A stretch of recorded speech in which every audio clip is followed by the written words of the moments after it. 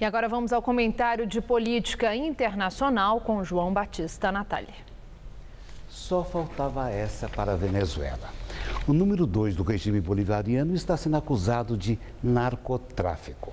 Diosdado Cabejo é o presidente do parlamento. Foi oficial do exército e companheiro do falecido Hugo Chávez. A denúncia contra ele corre no Tribunal dos Estados Unidos. Foi para aquele país que desertou há dois meses um antigo segurança dele chamado Liamci Salazar. Pois esse Salazar aceitou uma espécie de delação premiada. Ele disse que Cabello é o chefe de uma máfia de traficantes que opera dentro das Forças Armadas.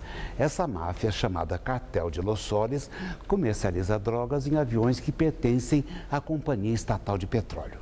A informação foi publicada ontem pelo jornal espanhol ABC. E é claro que deixou os políticos de Caracas em polvorosa.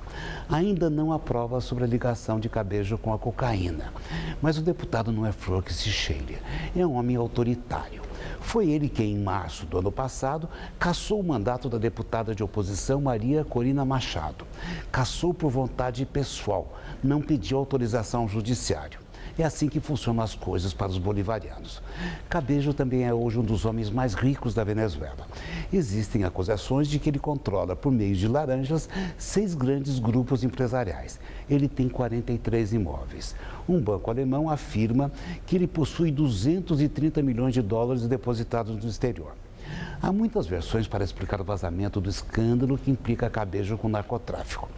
Um dos boatos em Caracas diz que ele poderá assumir a presidência da República caso entre em colapso o governo do presidente Nicolás Maduro.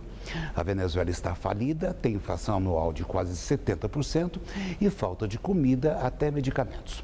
Uma carência agravada pela queda mundial dos preços do petróleo.